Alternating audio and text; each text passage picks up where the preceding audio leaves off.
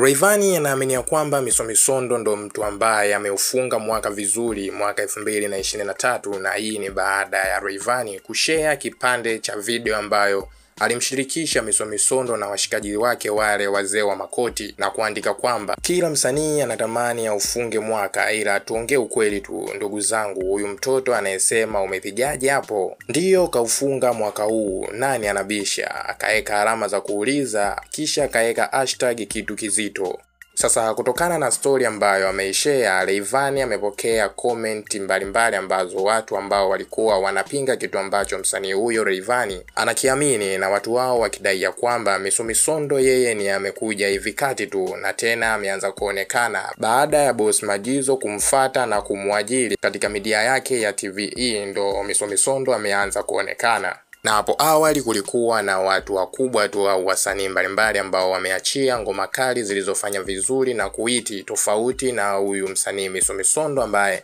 amekuja tu hivi juzi kati na hata miezi mitano ana. Hizo tu ni baadhi ya komenti za watu ambao wanaamini Misomisondo kwamba siye msanii ambaye ndiye aliyefunga mwaka vizuri, lakini kwa upande wa msanii Rayvanny, yeye anaamini ya kwamba Misomisondo ndiye ameufunga mwaka vizuri, yani mwaka huu elfu mbili